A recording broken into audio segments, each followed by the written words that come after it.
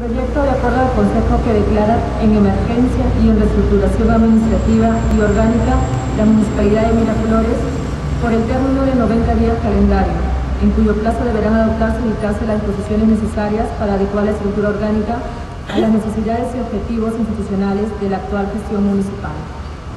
Y, y siento que no estamos en ninguna de las causales. Si la municipalidad fuese una empresa estaría en quiebra. Obviamente los bancos se están acercando a la municipalidad, hay cuotas incumplidas desde el mes de noviembre y lo que necesitamos es una reacción de parte de todos. Pero la proporción entre la deuda y los ingresos sobrepasa todo lo esperado. Es que sí considero coherente la reestructuración y el, el tema económico, que ambos están combinados y por ese motivo, esa combinación de situaciones son las que deben generar la declaratoria de emergencia. Haciendo un corte real al día 31 de diciembre, tenemos deudas por 53 millones. ¿Por qué se producen estas deudas?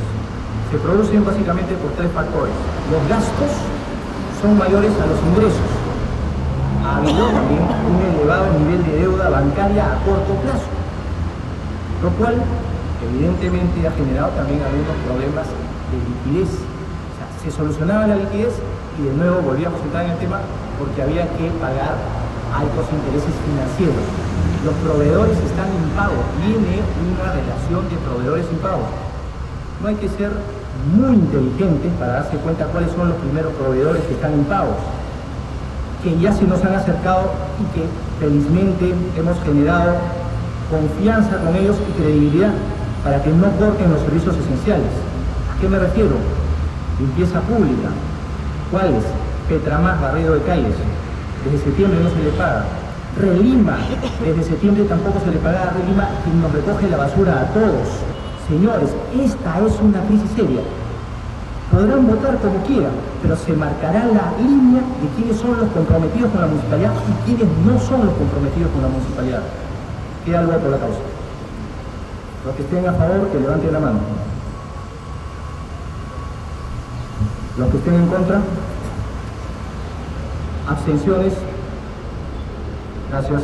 Proyecto de acuerdo de consejo que da inicio al proceso de auditoría de gestión en la Municipalidad de Miraflores, periodo 2007-2010. Acá lo que se necesita es que el ente competente realice la auditoría. Usted puede ordenar la auditoría, pero la que tiene validez completamente es la Contraloría General de la República. Lo que nosotros estamos queriendo hacer es justamente dar inicio a un proceso de auditoría formal. Totalmente de acuerdo en que todo esto debe ser investigado, que debe ser aclarado, que los vecinos deben de saber esto. Podríamos pasar al voto. Los que estén de acuerdo, si los levanta la mano, aprobado por unanimidad. Proyecto de ordenanza que suspende temporalmente la recepción y tramitación de solicitudes de certificados de parámetros urbanísticos y edificatorios ante proyectos de edificación y licencias de edificación en todas sus modalidades, así como los procedimientos administrativos vinculados a ella. Y es importante paralizar durante un tiempo la entrega de certificados de parámetros para poder ordenar nuestras propias normas. Es importante que lo sepan que el certificado de parámetros tiene una duración de 36 meses.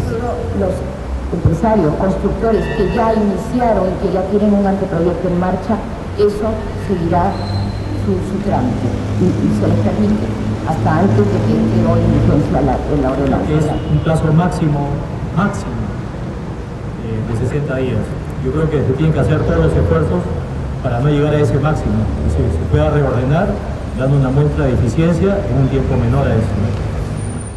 Al voto que estén a favor, si sí, levantar la mano expresando este voto en señal de conformidad. Los que estén en contra, hablando mi voto de acuerdo al artículo 11. Salvando su voto, aprobado por mayoría.